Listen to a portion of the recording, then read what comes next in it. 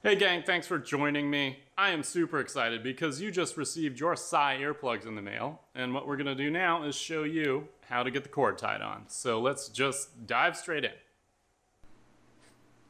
Nah, here we are. So you've been standing by your mailbox all week, waiting for these to show up. You open the package. This is what you're gonna find inside this set of uh, small, medium, and large ear tips from Comply. I'm gonna set those aside for now because we are talking about cord. Uh, here's a plastic case with our fancy little sticker and all that jazz.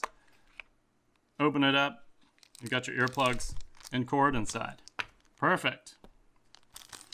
All right, so if this looks like a mess to you, you did not watch the video on the high-speed pneumatic bagging machine that I made to put the cord into these bags. Um, so if you feel like this looks like a mess, I suggest you go watch the video because when you see this, you'll be like, sweet, if you watch the video. If you did not, you'll be like, eh, so watch the video. All right, so we're gonna get our cord out.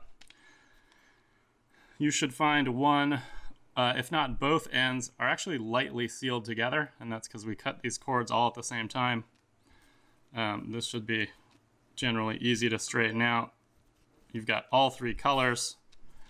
Uh, so I don't know. I'm just going to pick a random one. So you just pull these apart. No big deal, right? Uh, let's use green because maybe that'll show up on camera. Green, yellow, I don't even know. All right, the first thing to note is yes, you do have to tie this cord onto your earplugs. And the reason I chose to do this is because it works. Uh, I am not really one to use a solution because it looks cool and works bad. If it doesn't work, it doesn't pass the test. Um, if you can tie your shoes, you're going to have no trouble with this. We're going to tie the most simple knot in the knot tying world, a straight overhand. So, get that, get that cord out of the way. All right, over, under, and through. That is literally all you're going to do, except this other piece has to go through the middle. So here's my recommendation. Just form a, a large loop. Um, it does not need to be small at this point. Tie your overhand knot around this piece of cord. And that is literally it. The only thing you have to pay attention to uh, is this tail should be facing uh, away from the loop. Now, if you're going to take your earplugs on and off a lot, this is too much tail, but you may want to leave a little bit of tail so you can wiggle it off. Um, all right, so I'm going to tie this one with the tail, and the next one we're going to tie without a tail. So you're going to want to adjust the position of the knot a little bit. And so I'm just like feeding this back and pull it down. And this is really the main fidgety part. You just have to get it to where you want it. So that's a good little bit of tail. Um, this is the loose end. You're going to make this end tight. Pull hard. Uh, and then try to move the knot on the cord. And it should be snug, but it should also move. So literally, that is it. We can now take this end and put it on our earplugs and just cinch it down, uh, kind of work it back and forth uh, and get the knot down inside the edges. Um, and you're pretty much going to be good to go. You may, in terms of comfort, have to play around with this tail, whether you want it longer or shorter. Um, again, one of the reasons why we're tying this on is you can customize it. So you can leave a tail, you can not leave a tail, you can change the length uh, everyone is a different size, so really we're just trying to accommodate that customization to make these work as well as possible for you. All right, so let's call that one done. So I'm gonna do the other side. Again, just an overhand knot. And uh, I'm gonna try to get as little tail as possible, which is actually what I do on my personal earplugs. Uh, I don't ever take them off the cord, but if you want to do that, you can. So again, I'm just kind of working the knot down to get this as small as possible. Now, you are, thanks air compressor, you are going to need a little bit of tail to be able to tighten this knot. All right, so now I've got it snug.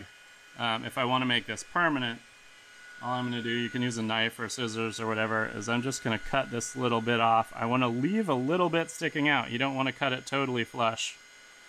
So there's that little fluffy bit sticking out. And all you're going to do is take a flame of some sort. Um, when you've got this flame going, you actually want to put the flame in the lower blue part, not in the orange hot part, because we don't want to burn this to a cinder. We just want to lightly seal this material. So I'm just going to place that up to the blue part, not in it even, and you can just watch that kind of pull back. And if you want, you can just touch the metal to it. And this will not come apart at this point. So again, we've got our little loop here with the knot on it. Uh, and we're just going to attach that to the other side, snug it down.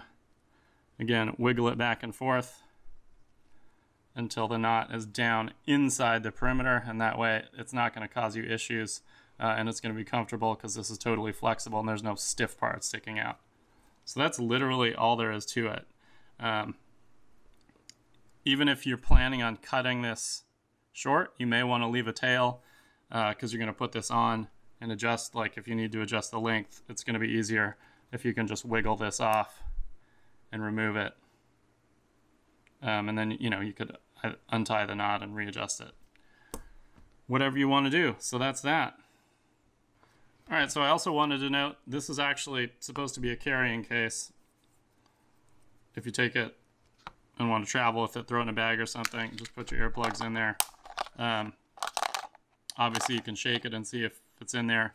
Uh, this is a little bit translucent, so you can also see, you know, if you have two different sets of earplugs with either a different colored cord or titanium and Delrin, you can tell what's inside without opening it. Um, anyway, there you go. It's also bright orange, so you can find it in your bag, because who likes searching for stuff and not being able to find it? Thanks for watching. I hope you enjoy your earplugs. Be sure to check out our other videos uh, on some of the machines I'm building to make this process possible, uh, and also the video about how to install the foam ear tips.